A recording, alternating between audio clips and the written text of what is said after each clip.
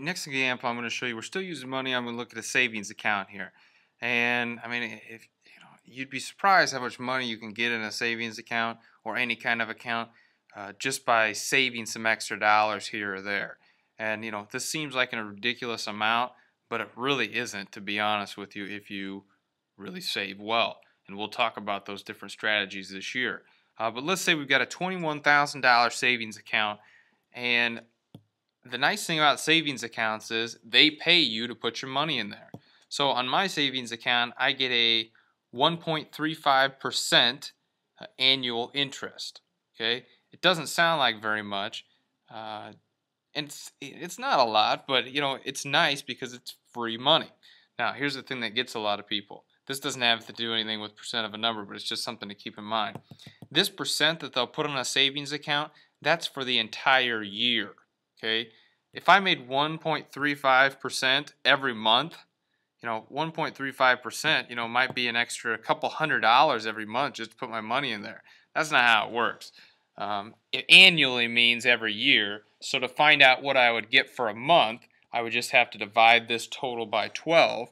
Uh, and if I did 1.35% divided by 12 months, I'm actually getting per month, uh, and I'll just round this off, but I'm getting 0.11% uh, back on my money every month. Now, it's not 11%, it's just, it's, it's basically one tenth of a percent. And actually, I can just change to this just to make it easy.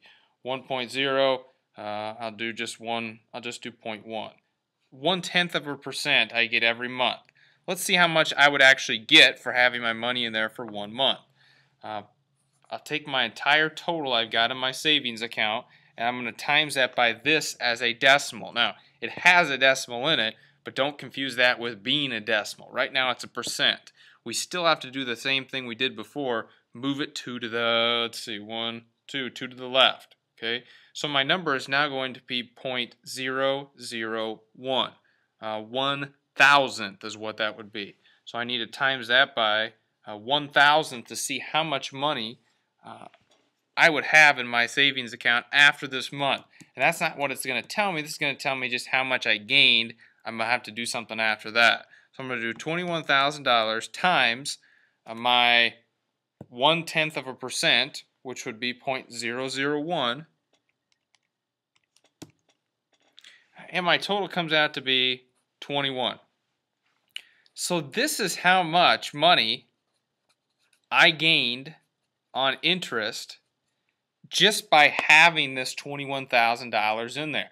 They just handed me 20 bucks. I didn't have to do anything, okay? So that's nice. So now when I need to update my total as far as how much I have in my savings account, I just take what I had before, add it to this, and I would have $21,021. The next month, we'd do it all over again.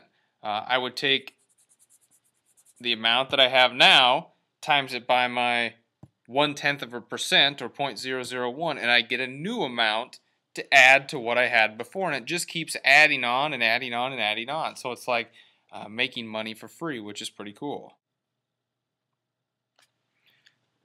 All right, next example I've got here is uh, with the one-one computers and you know you guys will get these next year. 82% um, of students at Grundy Center have internet at their house. Okay, um, and 100% can get it whenever they want to because all you have to do is come by the school and you can get internet. Go to the library, you can get internet.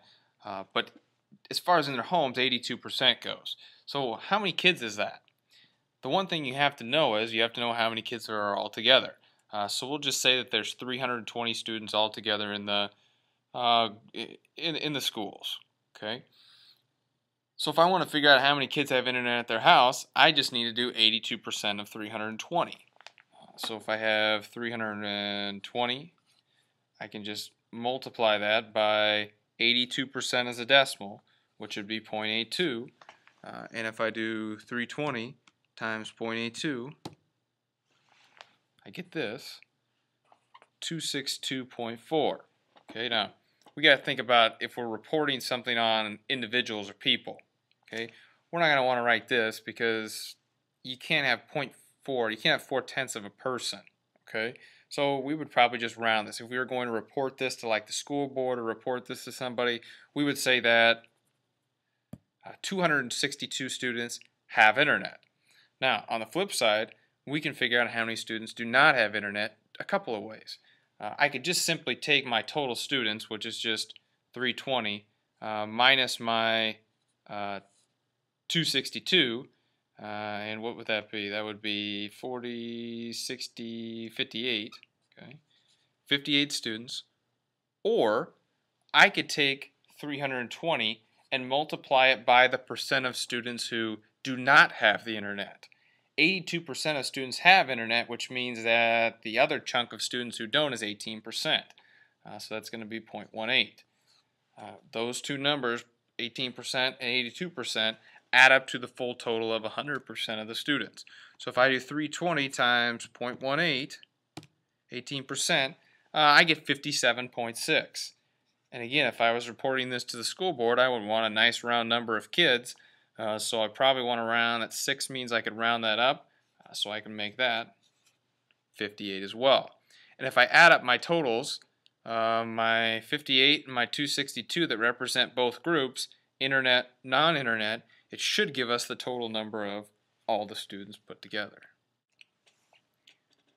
All right, last one I'll show you here. Uh, another example, you know, there are just so many examples to use this where I, I could make, you know, 20 videos and show you all the different problems, but hopefully by this time you kind of get the point where if you have a percent and you have a whole total, uh, you can find, you can use that to find a percent of a number. So let's say we got a 56 question test and Franklin is not doing very well. He really wants to pass uh, so he can play football um, next fall. And if he doesn't, he can't. So he knows that, or his teachers let him know that he needs a 78% on this to pass the class. The teacher didn't tell him how many questions that is, so you just got to figure it out. Now, he may not be able to do this if he's not very good at math, but you guys can help him out. Um, 78% he needs out of the 56 questions.